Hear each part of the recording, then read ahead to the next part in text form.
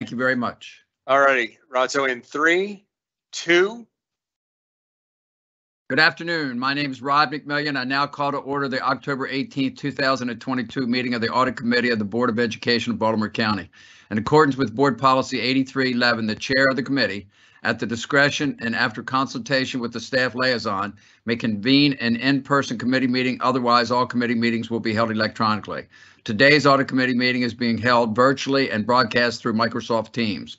In order to conduct this meeting efficiently, all voting items this afternoon will be done by roll call vote. Board members will say their names before making and seconding a motion as applicable, as well as when requesting discussion on an agenda item. As a courtesy to the committee, I ask that you inform Ms. Stevens or Ms. Barr if you must leave the call by using the team chat feature so that a quorum can be maintained. Please note today, Dr. McComas and Ms. Jameson are unable to attend this afternoon's meeting. Therefore, Dr. Holmes is sitting in for Dr. McComas, and Ms. Andrea Manna will be presenting the Magnet Program audit results. Ms. Stevens, please call the roll to determine the presence of a quorum of the committee. Thank you. I'll start with you, Mr. McMillion. I'm I'm here. Thank you. Uh, And Ms. Stelisky? Here. Thank you. Ms. Hassan? Here. Good. Thank you. Ms. Jose? Here. Thank you. All four committee members are present, Mr. McMillion. Outstanding. Uh, quorum being present, will we begin? Ms. Stevens, please call the roll of staff members participating in today's meeting. Thank you. Ms. Barr? Present. Ms. Manna? Present. Mr. Fletcher? Present. Ms. Crew? Present. Mr. Edwards? Present. Ms. Sample? Here. Mr. Straight? Mr. Straight? Mr. Hartlove? Here. Here. Here. Dr. Holmes? Mr. Elmendorf? Present. Ms. Schubert? Here. Mr. Stoll? Present. Are there any other staff members participating in the meeting today that have not been named? Hearing none, I turn it back to you, Mr. McMillion. Thank you, Ms. Stevens. The live video footage of our last meeting represents the minutes of the meeting. The minutes stand approved as recorded. Item number three, reports. Ms. Manna, please proceed with the magnet admissions audit results.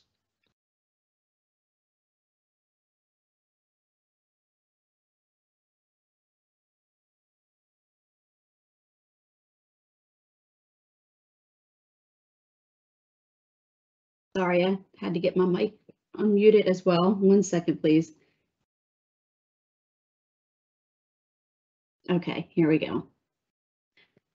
So the- for the magnet admissions um, program, we have, we do have representatives here from the magnet office that are here tonight to answer questions about their program and their corrective action plan um, after our presentation. Um, we audited the magnet admissions process as one of the selected medium level risk projects within our audit plan. Our objective for this audit was to determine whether or not the magnet program applications and admissions criteria and processes were fairly applied to all eligible students. There were two low rated findings which resulted in an overall satisfactory audit rating. A satisfactory audit rating is the highest of three ratings, and, and the three ratings are either unsatisfactory, needs improvement, or satisfactory. And the audit rating definitions are explained in Appendix B of this report. A satisfactory rating was given for this project because controls are operating in a satisfactory manner and are providing some level of assurance. The risks were effectively managed, and there were no high or medium rated issues identified. Before we discuss the two findings, page one of the report, in this section of the uh, of the report, uh, presents some commendations from the Magnet Program Office. Um, equitable access is available for all BCPS students to magnet programs. The seat projections were not exceeded. Um, admissions students were properly admitted. And the Smart Choice application process provided the users, the students and parents, with communications and an easy application process. However, we did note that starting this fiscal year, BCPS transitioned to the Focus System software for the Magnet application process due to increased costs. So there are three issue rating levels. Let me get to the first one. So the issue rating levels, we we rate each uh, issue in the finding in the reports either low, medium, or high. The issue rating definitions are explained in Appendix A of this report. So the first issue identified in this report received a low rating. This issue resulted from non-compliance with the office's SOPs related to seat projection approvals. In some cases, there wasn't enough as evidence of this approval and the individual school forms were not completed as identified in the SOP. We wanted to note that although there wasn't an indication of approval, none of the magnet seat projections for any high school was exceeded. And this happened because the approvals were submitted electronically via email, and we recommended that all approvals obtained are obtained and documented. Mr. Stoll, would you like to uh, expand on your corrective action plan and, and talk a little bit about that? Certainly. So we ask the schools to identify um, the projected number of seats, and they do that on a form. We provide that information then to the executive directors of the schools for their review and approval. And they typically send that back to us electronically. And then the forms go to the director who oversees the Office of Magnet Programs. And uh, that approval, review and approval is, is provided electronically. So our corrective action is to be sure that we save PDF copies of the approval emails um, so that we have them from year to year. Okay, thank you. I'm Gonna move down towards the second issue in the report. And the, the second issue is also a low rating. For 13 of the 30 sampled students who were disqualified, a reason for the disqualification was not noted in the records. And although it's most likely that the student didn't show for the assessment, the reason is not formally documented um, in, in the documentations. Um, this would be important to document to support the validity of the disqualification reasons. And we recommended that all reasons for student disqualifications be noted for reference. Um, and Mr. Stoll, you can explain again your corrective action plan and a little bit more about this. Thirdly, so we meet each fall in, in mid-November with our site-based magnet coordinators to um, plan for the upcoming assessments that take place in December and January. And as part of that meeting, we'll going to instruct the site-based coordinators to document specifically the reasons that a student was disqualified for a particular assessment. And they'll either do that in focus where the scores will be entered uh, for the application process or on a spreadsheet that the schools will submit to our office. And then we'll review that, make sure that the documentation has been made and uh, can keep and maintain those records.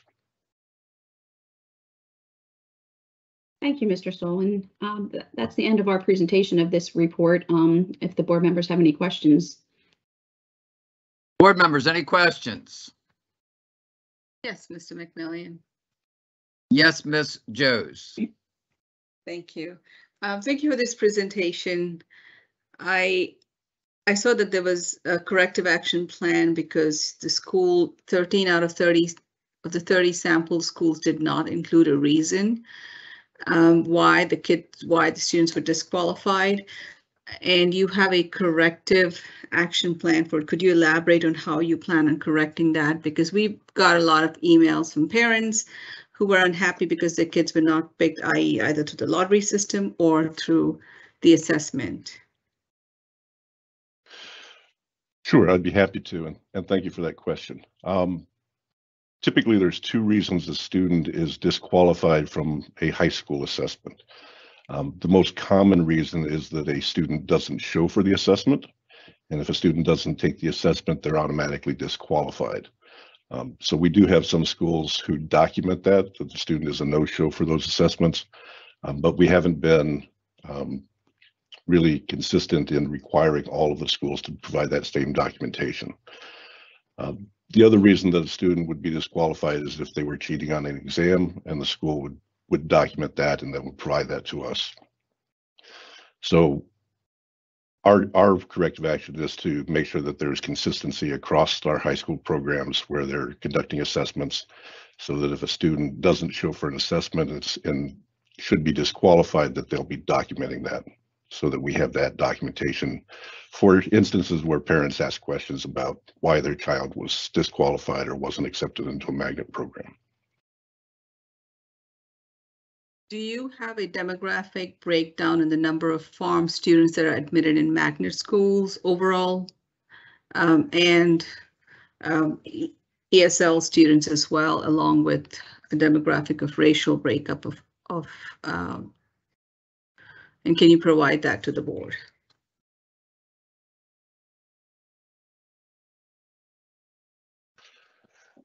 So we,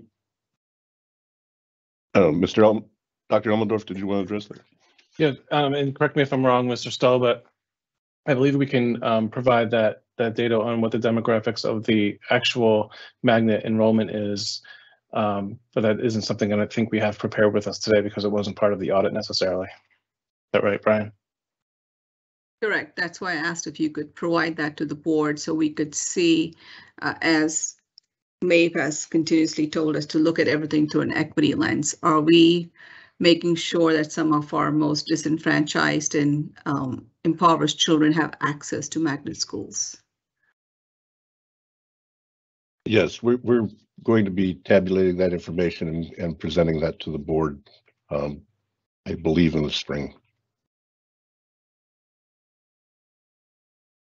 You, you said in the spring, is it possible to bring it to the board prior to the spring of what you have right now?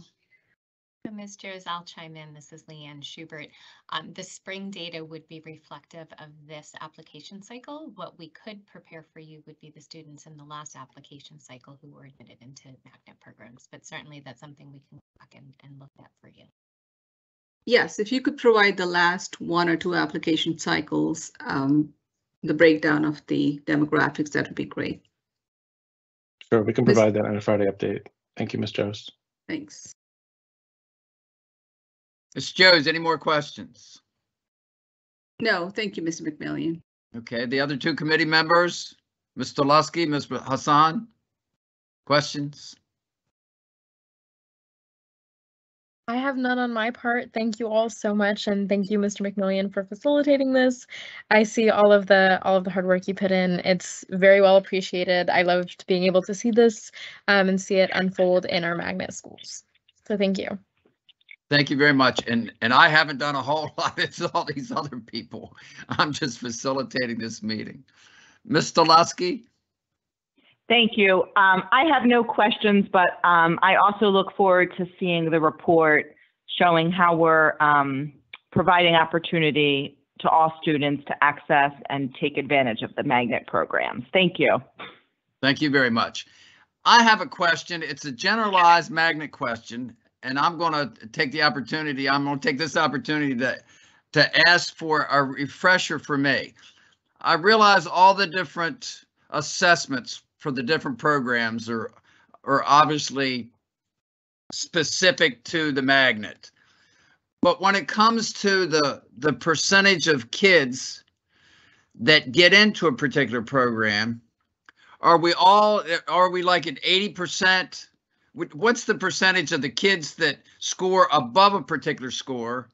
They get in and then we go to the lottery. Can somebody explain that for, just help me again with that, please?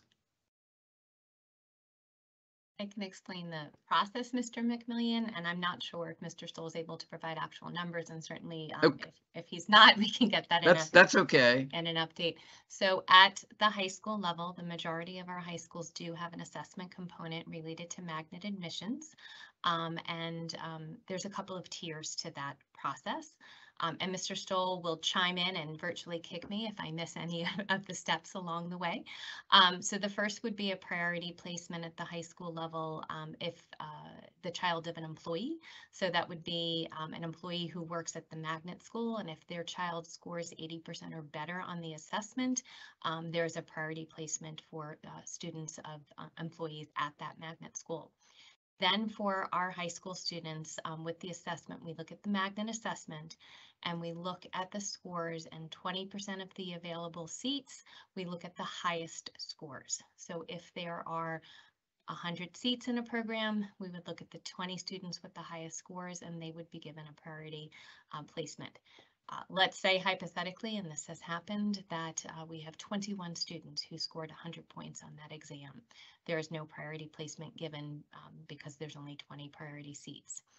Then the next tier down is we look at all of the students, excuse me, who scored 80% or above, or above, and that those students are then placed into a random lottery. So 80% or above, random lottery. Um, and then if there are still seats remaining, we then look at this, all of the students who scored 79%, we do a random lottery for those students, 78%, et cetera, until all of the seats are filled. Mr. Stoll, did I miss any steps along the way? No, that was, that was very well done.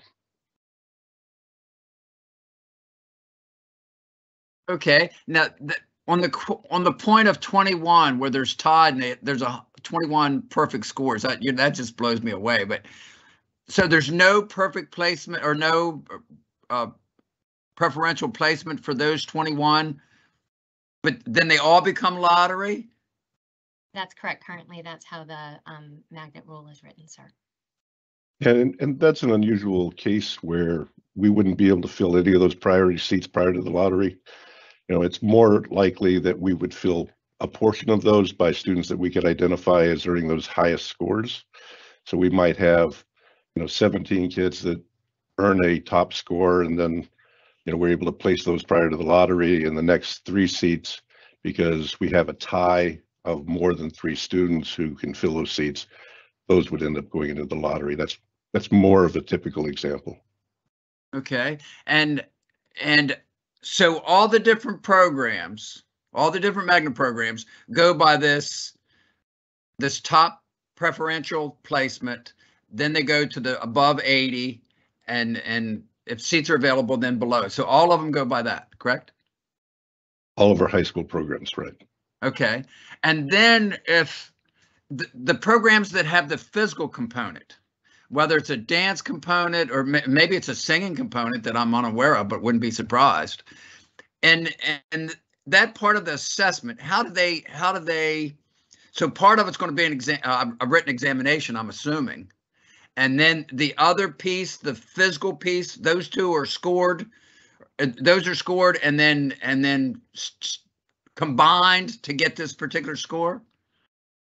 Right. So most of our high school programs have a, an assessment as well as an academic evaluation. And the scores from those two components are combined into a single score. Um, for those programs, most of those programs have paper and pencil type of examinations. Um, our three art schools do performance-based assessments, Milford, Patapsco, and Carver. And for those programs, there typically isn't a written component. Um, it's a performance-based assessment, which may include an interview of the student.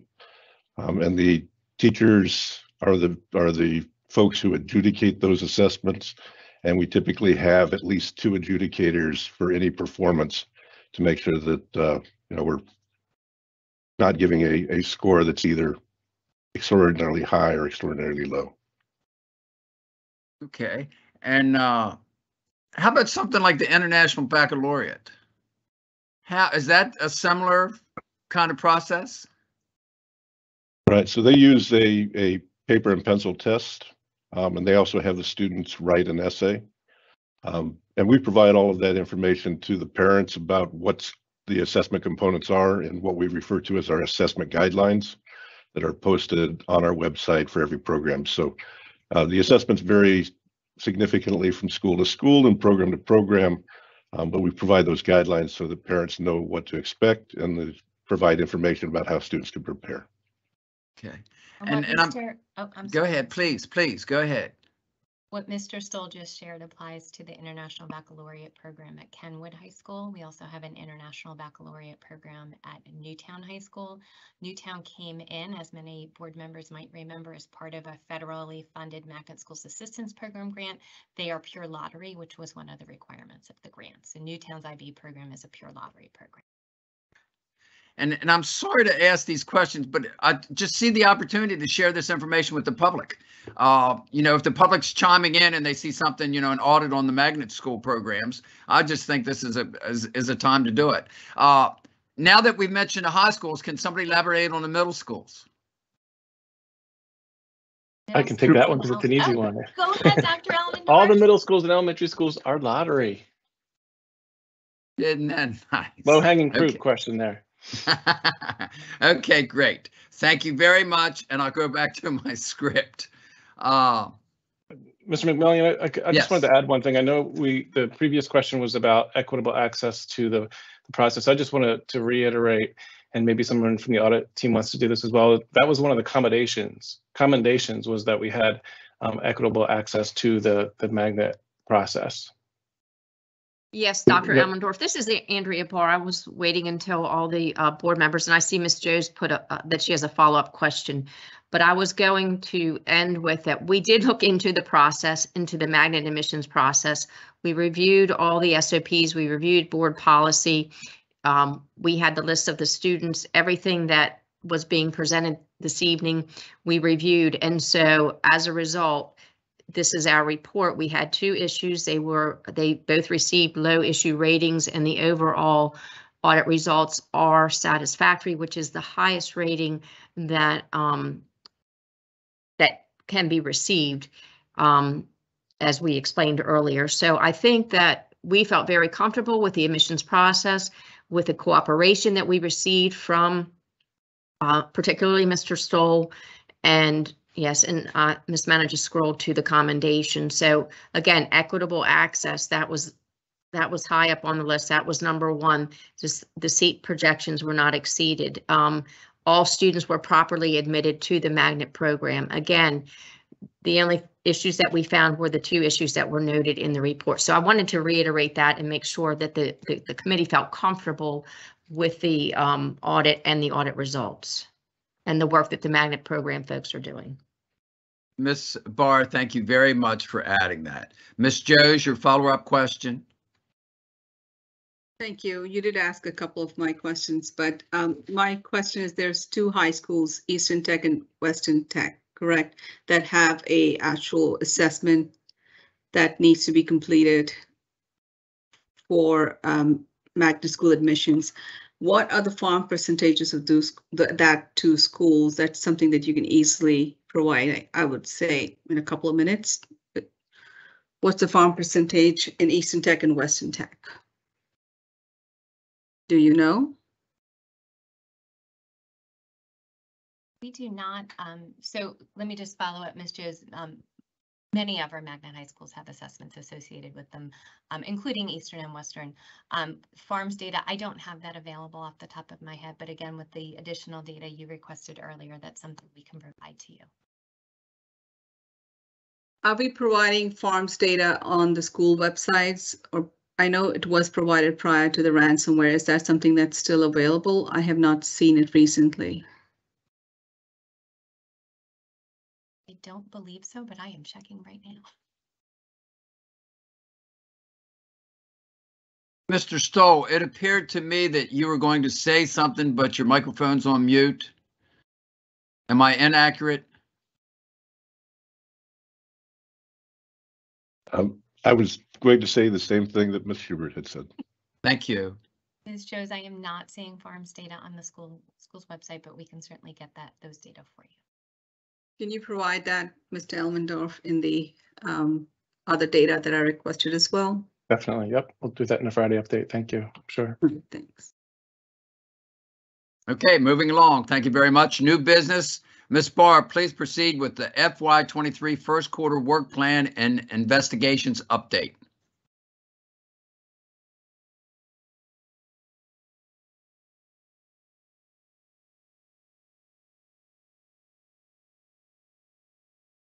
Are you able to see my screen? Yes, I am. Yes, weekend.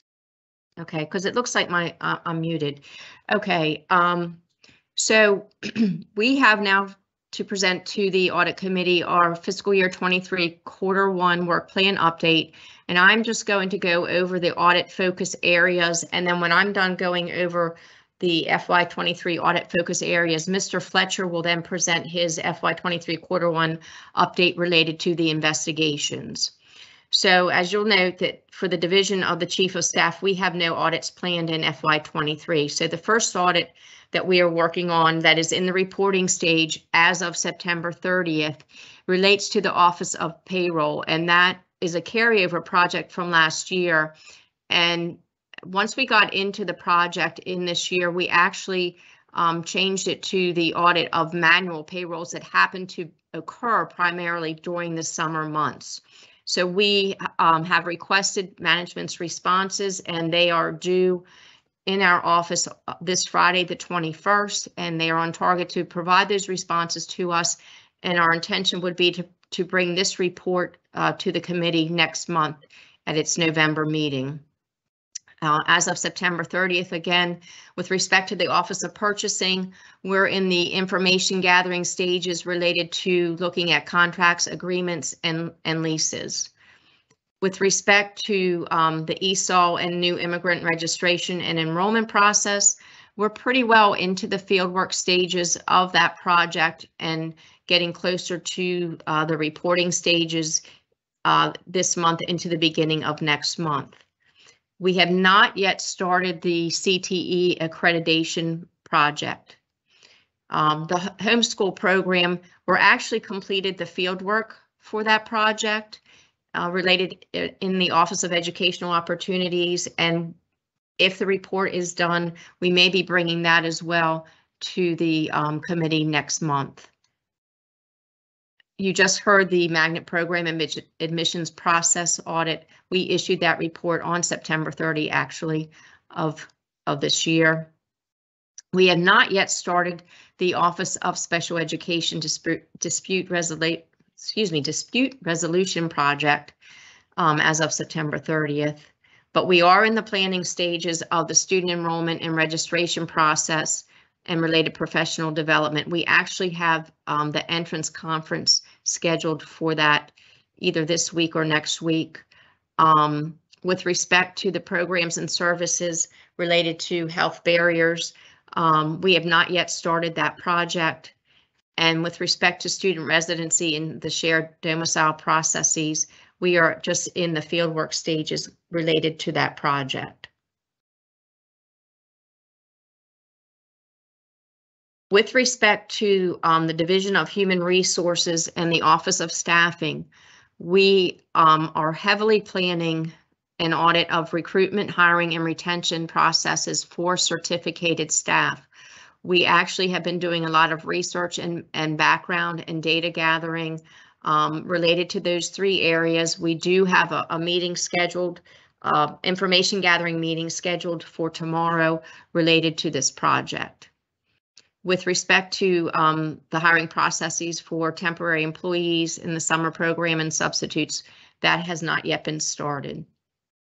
We are in the process of looking at the MSDE certification process, and we have received information back um, from the Department of Human Resources related to that project. With respect to the Office of Benefits, Leaves and Retirements and the Employee Wellness Program, I need to call to the committee's attention that we met with um, the individuals responsible for this program and we made a determination that it does not make sense at this time to audit this program for a variety of reasons.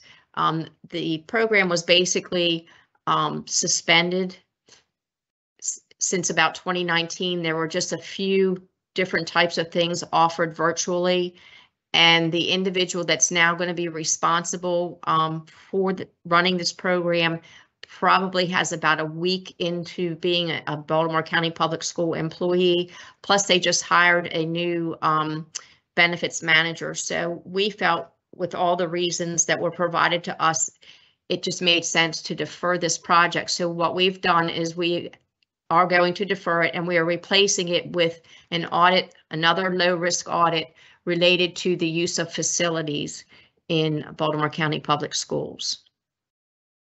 With respect to the discrimination claims process and ADA accommodations, nothing had been started as of September 30. Um, with regard to IT security, that was a carryover project from last year, and we've made a lot of progress with regard to that project, and that is still ongoing. I'm not sure exactly when we can project that that project will be complete, but we have obtained a lot of information and documentation that we need related to that project. Um, with respect to the student data applications and reporting, that is in the planning stages, and I believe we do have an entrance conference scheduled for that uh, within the next two weeks.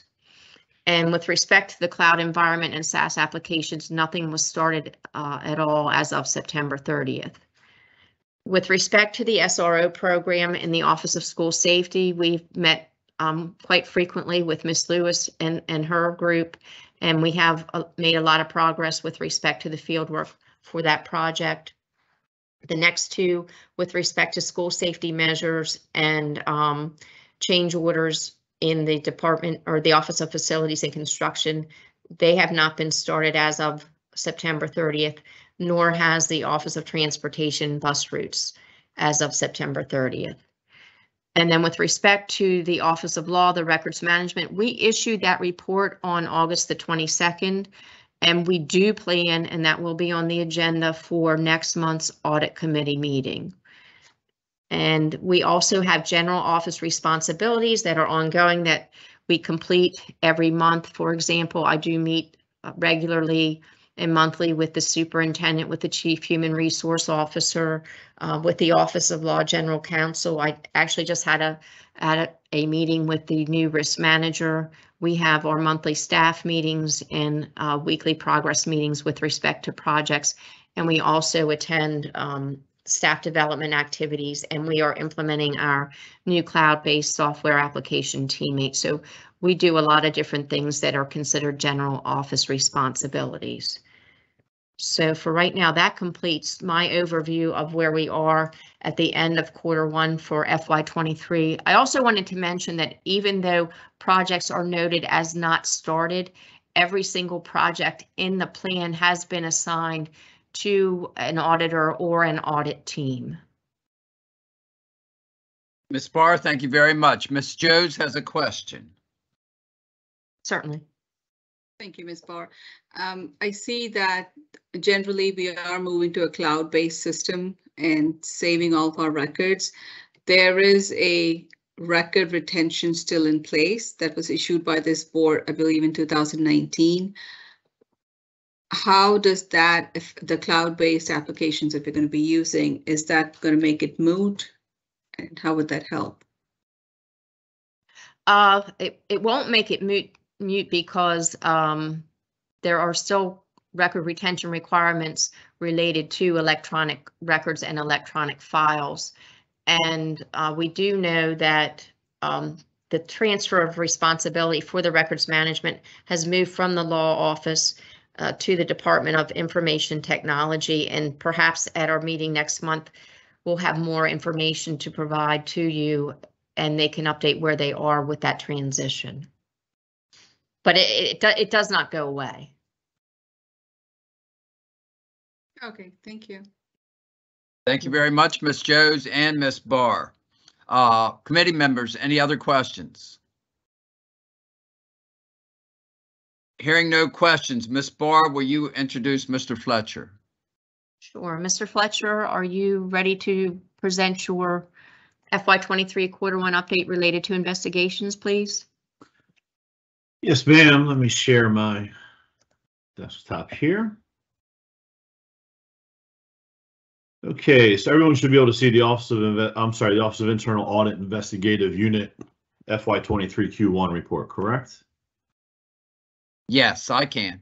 Excellent. Thank you, Mr. McMillion. So to go through, and again, uh, this is for the first quarter of FY23. Uh, so we're, we are speaking uh, July 1 through September 30th. And during that first quarter, during that period, uh, we did go to our first table here. We did receive 26 new cases uh, in through our hotline. And of those 26, six were kept uh, for investigation by the Office of Internal Audit. One was actually referred out to BCPS management for their review and disposition uh, and then provide response back to us. And then 19 of those 26 were actually outside the purview uh, of the hotline. So there were um, there were cases that we were received, but they were not necessarily fraud, waste, or abuse. Uh, typically, those are management issues, things like that, that we provide to management uh, for them to review, but we do not ask for replies or responses back for those. And so those are the cases that came in uh, during Q1. And then when we jump to table two, go down here to our next page, we actually take a look at uh, the total workload, caseload, if you will, for quarter one. And so in addition to the 26 new cases that came in, we started with 13 that were already open as of June 30th.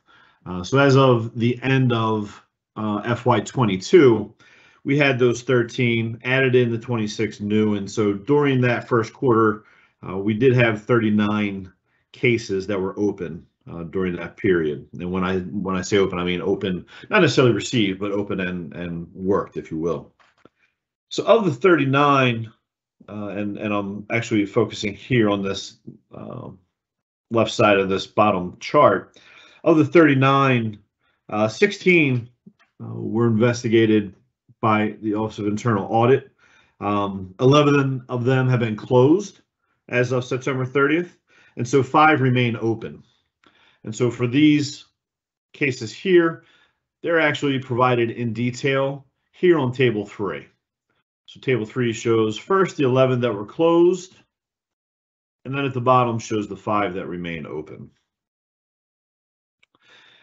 Then going back uh, here to table two, uh, as we mentioned before, uh, for management investigations, we did have one um, that is open during the during the quarter, and that is still open as of September 30th. We were awaiting management's response for that. And then our memos to file is this third column here. I'm sorry, for the management investigations, details for these cases uh, are here, or for this case, I apologize, are here on table four uh, to, to show you the detail there. And then for our cases that we receive that are outside the purview of the hotline, again, not necessarily fraud, waste, or abuse allegations, uh, we had 22 cases uh, that were open throughout the entire quarter. As of September 30th, 17 of those were closed and five uh, remain open. And then these uh, details for these 22 cases are here in table five. Again, starting with the closed. And then we have the remaining five that are still pending. And so this uh, information has already been provided to you via board doc. So as you review any of the detail, if you do have any questions, uh, we are certainly available to to discuss any of them. But Mr. McMillion, that is our presentation for our Q1 investigations. Thank you very much, Mr. Fletcher. Uh, any questions, board members?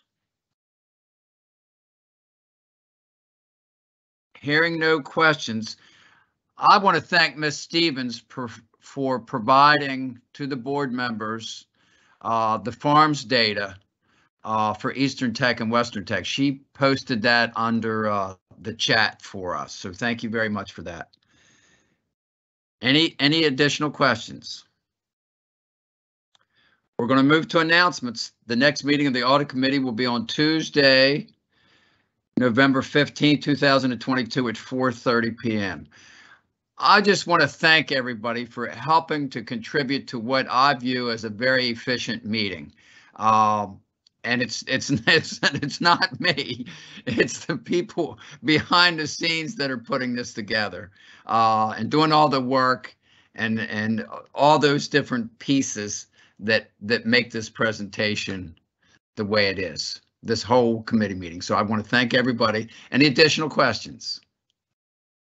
Okay Our meeting is to an end. Thank you very much, and we'll see you on November 15th. Thank you.